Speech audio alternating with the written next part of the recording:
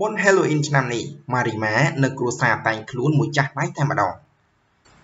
ជារៀងរាល់ឆ្នាំ Marin Rivera ដែលមហាជនភាគច្រើនស្គាល់ថា Marima តែងតែប្រារព្ធពិធីបុណ្យ Halloween ជាមួយនឹងស្វាមីសំណប់ចិត្ត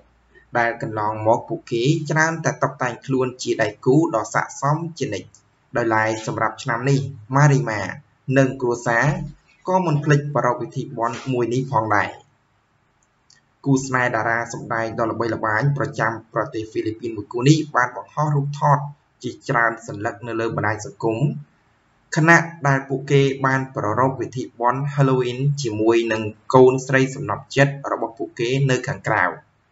អ្នកទាំង3បានស្លៀកពាក់និងតុបតែងមុខមាត់មួយចាស់ដៃតែម្ដងដើម្បីឲ្យស័ក្តិសមជាមួយនឹងវិធីបុណ្យនេះផងដែរប៉ុន្តែរឿងដែលគួរឲ្យកត់សម្គាល់នោះគឺកូនស្រីរបស់ ពួកគេ នាងតូចសាបានតែងខ្លួនជាកូនបិសាចដ៏គួរឲ្យខ្មាញ់មើលសឹងតែមិនស្គាល់ទៅហើយបាត់រូបថតជាច្រើនសន្លឹករបស់កម្ពុជាតារាសម្ដែងស្រីម៉ារីម៉ានិងស្វាមីលោកដែលបាទឌីងដងឌីងដងបាទលោកឌីងដង ជាពិសេសកូនស្រីសម្លាញ់របស់ពួកគេក្នុងវិធីបុណ្យ Halloween យប់មិញ កំពុងទទួលបានការចាប់អារម្មណ៍យ៉ាងខ្លាំងពីសំណាក់អ្នកលេងបណ្ដាញសង្គម Insta បាទអ៊ីនធឺណិតដូចជា Facebook និង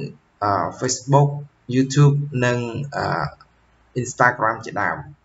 បានចឹងកុំឲ្យខាត់ពេលយូរសូមទស្សនានៅរូបភាពមួយចំនួនដែលអមជាមួយនឹងការអត្ថាធិប្បាយរបស់ខ្ញុំផងដែរ